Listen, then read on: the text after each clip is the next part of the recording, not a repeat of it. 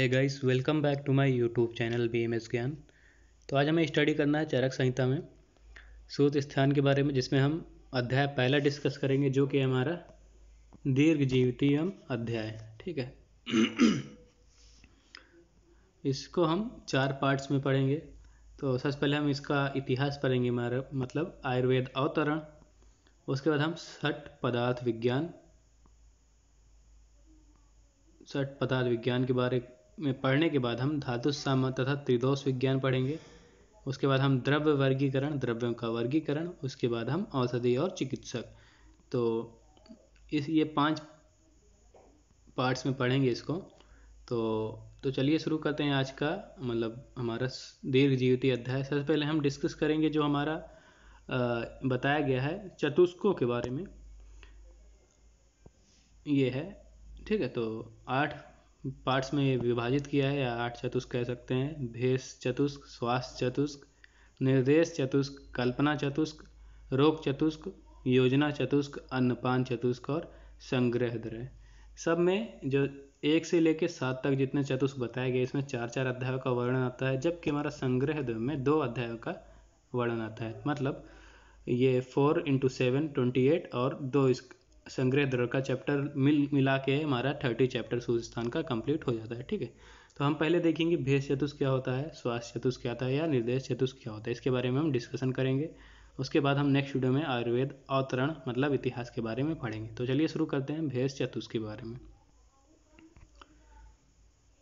ये अथा तो दुर्ग जीवितम अध्यायम व्याख्यास्यामः इति या भगवान आत्रेय।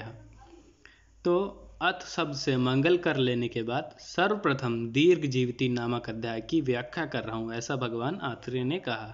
ठीक है? तो ये इन्होंने बताया कि अथ शब्द से मंगल कर लेने के बाद मैं दीर्घ जीविती अध्याय नामक की व्याख्या कर रहा हूँ या उस पर उसको डिस्क्राइब करने जा रहा हूँ, ऐसा भगवान आत्रेय ने कहा। तो सबसे पहले हम देखते हैं, भेष चतुष्क, जो हमारा टॉपिक है मतलब जिसके बारे में हमको पढ़ना है भेष चतुष्क तो एग्ज़ाम में पूछ सकता है कि भेष चतुष्क में कौन कौन से चैप्टर आते हैं, इसको, इसका वर्णन कीजिए, इसको डिस्क्राइब कीजिए। तो इसीलिए मैं सबसे पहले बता दे रहा हूँ भेष चतुष्क क्या है, स्वास्थ्य चतुष्क क्या है निर्देश चतुष्क क्या है। तो ऐसे करके मैं सातों चतुष्क के बारे में, आठों चतुष्क के बारे में बता दूँगा, ठीक है? तो सबसे पहले भेष चतुष्क क्या है? इनको ध्यान में रखना है, और एग्ज़ाम में आए तो इतना मतलब मन में रहे कि इसको आप लिख सकें। तो भेष चतुष्क तो जैसा कि मैंने पहले बताया कि सूत स्थान में चार चार अध्यायों का वर्ड सात वर्ग है और आठवां वर्ग दो अध्यायों का माना गया है, जो कि हमारा संग्रह द्वय है। ठीक? तो भेष चतुष्क सबसे पहले पढ़ते हैं। तो इसमें एक, दो, तीन और चार अध्यायों का विषय है। मतलब फ़र्स्ट सेकेंड थर्ड और फोर्थ जो चैप्टर्स हैं, इसमें चार चैप्टर्स आते हैं, पहले से लेकर चौथे तक। प्रथम अध्याय जो है, इसका दीर्घ जीवन है। दीर्घ जीविती अध्याय जो हम पढ़ रहे हैं तो प्रथम अध्याय जी दीर्घ जीवन के विषय से युक्त है। इसमें दीर्घ जीवन के उपदेश के बाद दीर्घ जीवन को कायम रखने के लिए धर्म अर्थ काम और मोक्ष इस पुरुषार्थ चतुष्ट का मूल आरोग्य की जिज्ञासा की गई है। मतलब इसमें हम इसमें क्या बताया दीर्घ जी, जीवन के उपदेश के बाद मतलब दीर्घ जीवन के बताने के बाद उसमें दीर्घ जीवन को कायम रखने के लिए धर्म अर्थ काम और मोक्ष इन पुरुषार्थ को बताया गया है। आरोग्य ज्ञान के लिए आयुर्वेद का ज्ञान आवश्यक है। अतः आरोग्य ज्ञान प्राप्ति के लिए आयुर्वेद की जिज्ञासा उत्पन्न हुई। आयु का परिज्ञान ही आयुर्वेद है, ठीक है? अतः इसमें आयु का वर्णन किया गया है और इसमें आयु का भी वर्णन किया गया है। विद धातु ज्ञान, लाभ, विचार और सत्ता इस अर्थ चतुष्ट में प्रयुक्त है। विद धातु ज्ञान, लाभ, विचार और सत्ता इस अर्थ चतुष्क में प्रयुक्त है। यहाँ के, यहाँ आयु के ज्ञान लाभ, विचार और सत्ता पर विमर्श किया गया है। ठीक है तो यहाँ पे जो इस चैप्टर्स में बताया गया है दीर्घ जीवती उसमें आयु के ज्ञान आयु के लाभ, आयु का विचार और आयु की सत्ता पर विचार विमर्श किया गया है। आयु की सत्ता तथा उसकी प्राप्ति, उसके ज्ञान, विचार भी है। जब आयु का क्या है, यह जान लिया जाता है तो उसके लाभ और सत्ता पर विचार प्रारंभ किया जाता है। जब हमें पता चल जाता है कि आयु क्या है, तब हम उसके लाभ और सत्ता पर विचार प्रारंभ या विचार शुरू करते हैं। अतः इस अध्याय में सठ पदार्थों का दीर्घ दर्शन कराकर आयोग को अक्षुण रखने वाले द्रव्यों के गुण कर्मों का विचार किया गया है। तो इसके बाद हम जब ये पढ़ लेते हैं, आयु की सत्ता क्या है, आयु से क्या लाभ है, उसके बाद हम सठ पदार्थों का दर्शन करेंगे, उसके बारे में पढ़ेंगे, उसका हम डिस्क्रिप्शन देखेंगे। उसे आयु, आरोग्य कैसे हमें, हमारे आयु आयु को कैसे संरक्षण करना है, आयु को कैसे बचाना है उसमें द्रव्य बताया गया उनके गुण कर्मों का विचार किया गया है। प्रथम प्रथम कारण द्रव्यों के स्वरूप आदि का, बाद में कार द्रव्यों का वर्णन किया गया है। दूसरे एवं तीसरे अध्याय में शरीर शुद्ध्यर्थम अंत परिमार्जन करने वाले द्रव्यों का उपदेश किया गया। मतलब अपामार्ग, टंडुली तथा आरक बदी, उसमें क्या है? शरीर शुद्ध करने वाले द्रव्यों का वर्णन किया गया है। चौथे अध्याय में 600 कसाय कल्पना का वर्णन किया गया है। इस प्रकार भेषजों में से परिपूर्ण प्रथम चार अध्यायों को भेषज चतुष्क कहा जाता है, ठीक है? तो ये हो गया भेष चतुष्क या भेषज चतुष्क। उसके बाद हम देखेंगे स्वास्थ्य चतुष्क के बारे में।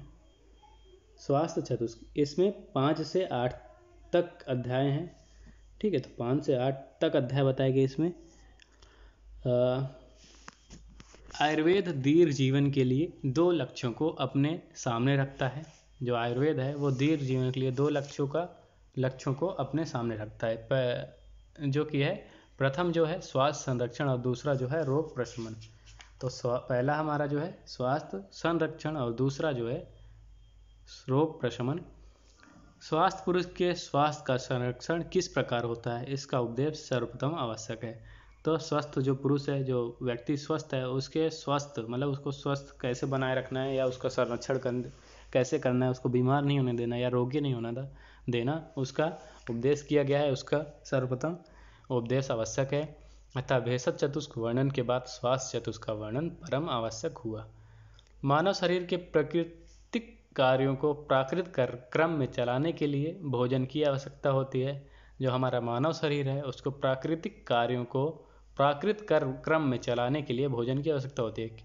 प्राकृत कार्य मतलब जो उसका नेचुरल काम है, जो उसको हम ठीक ठीक रूप से चलाएँ, उसको नॉर्मल चलाएँ, जो उसको करना चाहिए, विकृत रूप में न चले, प्राकृत क्रम में चले, एक स्पेसिफिक सीक्वेंस में जैसे चलता आ रहा है वैसा चले, उसके लिए हमें भोजन की आवश्यकता है। यदि यह भोजन उचित मात्रा एवं उपयुक्त रूप में न दिया जाए तो स्वास्थ्य कथम कथमापि प्राकृत रूप में नहीं रह सकता। अगर हमें भोजन उचित मात्रा में नहीं मिल रहा है या उपयुक्त रूप में नहीं मिल रहा है तो जो हमारा स्वास्थ्य है, वो प्राकृत रूप में कभी नहीं चल सकता। हमारे स्वास्थ्य में विकृति उत्पन्न होगी, हम रोगी हो जाएँगे।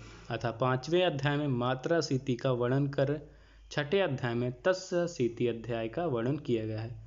तो पांचवा अध्याय जो हमारा है, वो उसमें मात्रा सीति अध्याय का वर्णन किया गया है, जिसमें आहार की मात्रा अग्निबल का संबंध, ये सा, आहार के रंग द्रव अंजन धूमपान ये सारे बताए गए हैं, ऋतुचर्या बताई गई है। और तस्य स्थिति में ऋतुचर्या के बारे में वर्णन बताया गया है। भोजन के बाद भुक्त पदार्थों का परिवर्तन शरीर में अनेक विध होता है जिससे प्रसाद धातु और किट भाग का निर्माण होता है। प्रसाद भाग मतलब सार शरीर को पुष्ट करने के कारण उप, उपादेय होता है। किट भाग शरीर को दूषित करता है अतः हे होता है। जो हमारा प्रसाद भाग होता है या सार भाग जो होता है वो शरीर को की पुष्टि करता है और किट भाग शरीर को दूषित करता है अतः इसको हमको शरीर से त्याग करना चाहिए निकालना चाहिए। इन हे पदार्थों का त्याग करने के लिए मानव शरीर के अंतर्गत अंदर एक प्रकार की संवेदना होती है, जिसे आयुर्वेद वांग्मय में वेग कहा जाता है। ठीक है। शारीरिक क्रियाकलाप जन अनेक विध संवेदना शरीर में होती रहती है। वे सभी संवेदनाएँ वेग शब्द के अंतर्भूत होती हैं। तो जितने भी शारीरिक क्रियाकलाप जो होते हैं, उनमें अनेक संवेदना, संवेदनाएँ होते हैं, जिसे हम वेग कहते हैं। इनमें बहुत से वेग ऐसे होते हैं जिनका शारीरिक स्वास्थ्य के लिए धारण करना परम आवश्यक है और जित, इसमें जो वेग बताए गए हैं, उसको, उसमें बहुत सारे वेग हैं जो जो हमारे शारीरिक स्वास्थ्य के लिए हम उसको धारण करना पसंद करते हैं या धारण करना चाहिए हमें। और कुछ ऐसे भी वेग हैं जिनका धारण करना स्वास्थ्य के लिए हानिकारक है। और कुछ अधारणीय वेग है जिसको हम धारण नहीं कर सकते। अगर हम धारण करते हैं उसको हमारे शरीर के लिए हानिकारक है स्वास्थ्य के लिए हानिकारक हो सकता है। इन दोनों प्रकार के वेगों का वर्णन सातवें अध्याय में किया गया है। तो इन जो दोनों प्रकार का वर्णन जो बताया गया है, वो सातवें अध्याय में किया गया है, जो कि हमारा है न वेगान धारणीयम अध्याय तो इसमें हम अधारणी वेग वर्णन और धारणी वेग के बारे में पढ़ेंगे। उप ऊपरी निर्दिष्ट सभी क्रियाकलाप इंद्रियों द्वारा ही निष्पन्न होते हैं, अतः आठवें अध्याय में इंद्रियों के स्वरूप एवं कार्य आदि का वर्णन कर सदवृत्त और उसके अनुष्ठान का वर्णन किया गया है। तो जो भी ये क्रियाकलाप होते हैं, उसमें इंद्रिया, ये सब इंद्रियाँ ही इंक्लूडेड होती हैं मतलब इंद्रियों के द्वारा ही निष्पन्न होता है। तथा आठवें अध्याय में इंद्रिय के स्वरूप और उनके कार्यों का वर्णन बताया गया है। उसके बाद स्वद्वित और उसके अनुष्ठान का वर्णन किया गया। तो हमारा आठवां चैप्टर है इंद्रियोपक्रमणी अध्याय। तो ये हो गया हमारा स्वास्थ्य चतिक, चतुष्क। पहला हमने देखा था भैसा चतुष्क में दीर्घ जीविती अध्याय, उसके बाद हमने देखा अपा मार्ग टंडुली अध्याय। थर्ड चैप्टर हमने देखा था आरग्वदीयम अध्याय, चौथा था सड विरेचन सत आश्रित अध्याय, जिसमें हम 600 कसाय के बारे में पढ़ेंगे। उसके बाद हम स्वास्थ्य चतुष्क में इंटर करते हैं पाँच से आठ तक, जिसमें हम पढ़ेंगे महासीत मात्रा सीतीयम अध्याय उसके बाद तस् तस्य अध्याय, उसके बाद हम देखेंगे ना वेगा अंधारणीयम अध्याय, वेगों के बारे में पढ़ेंगे, उसके बाद हम इंद्रियों के बारे में पढ़ेंगे इंद्रियोपक्रमणी अध्याय में। अब हम देखते हैं निर्देश चतुष्क। इसमें नौ से बारह अध्याय हैं। यह चतुष्क आयुर्वेद के दूसरे प्रयोजन मतलब रोग प्रशमन की पूर्ति का उपक्रम आरंभ करता है। ठीक है? तो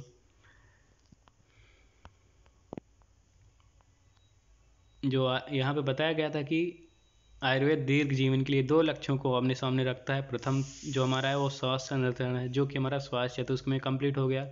अब दूसरा, हम रोग प्रशमन, वो हम देखेंगे निर्देश चतुष्क में। तो यह चतुष्क आयुर्वेद के दूसरे प्रयोजन, रोग प्रशमन की पूर्ति का उपक्रम आरंभ करता है। मतलब यहाँ से रोग प्रशमन के बारे में स्टार्टिंग हो गया और बाकी जो लास्ट चैप्टर्स हैं, उसमें भी धीरे धीरे हम कल्पना चतुष्क रोग चतुष्क में भी देखेंगे रोग प्रशमन की पूर्ति के लिए जो अध्याय बताए गए हैं। चिकित्सा के लिए वैध, रोगी, परिचारक एवं औसत किस प्रकार का होना चाहिए? जो चिकित्सा हम करते हैं, उस चिकित्सा के लिए वैध, जो रोगी, परिचारक एवं औसत किस प्रकार का होना चाहिए? इसका नौवें अध्याय में संक्षेप में वर्णन कर, दसवें अध्याय में विस्तार से वर्णन किया गया है। तो नौवें अध्याय में इसका हम संक्षेप से वर्णन बताया गया मतलब उनके बारे में बता दिया गया है। खुड उस, वो अध्याय नौ का नाम है खुड का चतुष्पादम अध्याय। इसमें हम चिकित्सा के चतुष्पाद पढ़ेंगे, चिकित्सा के बारे में विशेष विचार का वर्णन देखेंगे। फिर दसवें अध्याय में हम देखेंगे महाचतुष्पादम अध्याय, जिसमें हम चतुष्पाद की सार्थकता से संबंधित विवाद, साधता, असाधता संबंधी वर्णन पढ़ेंगे। ठीक है तो ये नौवा और दसवां चैप्टर यही चिकित्सा के चतुष्पाद से रिलेटेड है। मनुष्य की तीन इच्छाएँ होती हैं, उसके बाद हम देखेंगे। मनुष्य की तीन इच्छाएँ होती हैं, उनका वर्णन कर चिकित्सा संबंधी कुछ आवश्यक सिद्धांतों का निर्देश। ग्यारहवें अध्याय में और बारहवें अध्याय में शरीर के मूलभूत वात, पित्त, कफ के प्राकृत एवं वैकृत कार्यों का निर्देश किया गया है। तो अध्याय जो ग्यारह है, उसमें उसको हम तिस तैसणीयम अध्याय और जो हमारा बारहवा अध्याय वो वात कला कालीयम अध्याय है। उसमें हम ये सारे, उसको हम धीरे धीरे देखेंगे। इसके बाद हम देखते हैं कल्पना चतुष्क क्या है। तो इसमें तेरह से सोलह तक अध्याय हैं। इनमें क्रम से स्नेह कल्पना, श्वेत कल्पना, उपकल्पनी, स्नेह कल्पना, श्वेत कल्पना, उपकल्पनीयम अध्याय उसके बाद हम चिकित्सा प्रभृतियम अध्याय के बारे में देखेंगे रोग चतुष्क में, रोग चतुष्क में सत्रह से बीस आता है। इसमें आता है, कियंता शीर्षीयम अध्याय। कियंता शीर्षीयम त्रिसोफी अध्याय या त्रिसोथियम अध्याय, अष्ट उदरियम अध्याय, महारोग अध्याय। फिर हम योजना चतुष्क में देखते हैं। इसमें 21 से 24 तक अध्याय थे इनमें क्रम से आठ प्रकार के निंदित पुरुषों का वर्णन है मतलब अष्ट निंद अष्ट निंदितीयम अध्याय पढ़ेंगे। लंघन के बारे में पढ़ेंगे। लंघन वृणम अध्याय संतर्पणीयम अध्याय और विधि सोड़ितम अध्याय। तो ये हमारा चौबीस योजना चतुष्क हो गया। सातवां हमारा अन्नपान चतुष्क। इसमें पच्चीस से अट्ठाईस अध्याय हैं। पच्चीस से अट्ठाईस अध्याय हैं। इनमें क्रमशः जिस प्रकार मनुष्य एवं रोग की उत्पत्ति होती है, उसका वर्णन रसों के विषय में अनेक वाद विवाद अन्नपान आदि का निर्णय कर, अन्नपान विधि के बाद विविध आसित पीत, अन्नपान के विभिन्न परिवर्तनों का गुण एवं दोष बताया गया तो अध्याय जो हमारा पच्चीस है, वो है यज्जा पुरुषियम अध्याय। अध्याय हमारा छब्बीस जो है, वो आत्रे भद्र कापीय अध्याय। आत्रे भद्र कापीय अध्याय हमारा जो सत्ताईस है वो अन्न पान विधियम अध्याय और जो हमारा अट्ठाईसवां चैप्टर है अन्न पान पानीयम अध्याय के बाद विविध आसित पीतयम अध्याय। उसके बाद हम लास्ट देखते हैं अध्याय उनतीस और तीस, जो कि हमारा संग्रह द्वय में आता है। उनतीसवें में हम देखेंगे दस प्राण प्राण आयतनियम अध्याय मतलब दस प्राण आयतनों के वर्णन पढ़ेंगे। उनतीसवें में दस प्राण आयतन का वर्णन कर चिकित्सकों के लक्षण और भेद का वर्णन तथा अध्यायों के इस विषय की सूची दी गई है। तीसवें अध्याय में हृदय और ओज का वर्णन कर आयुर्वेद और आयुर्वेद आयुर्वेदक के लक्षणों का वर्णन किया गया है, ठीक है? तो इसके, इस यहाँ पे हम देख लिया कि हमारे जो चतुष्क बताए गए हैं, उसमें हमें क्या क्या पढ़ना है और कौन कौन से चैप्टर्स इंक्लूडेड हैं उसमें, ठीक है? और संज्ञा दवा के बारे में भी देख लिया। तो नेक्स्ट वीडियो हम देखेंगे आयुर्वेद अवतरण मतलब इतिहास देखेंगे। तो मिलता है नेक्स्ट वीडियो में, तब तक के लिए धन्यवाद। लाइक कमेंट और सब्सक्राइब करना मत भूलिएगा। कोई भी डाउट हो तो कमेंट बॉक्स में डाल दीजिएगा। तब तक के लिए धन्यवाद।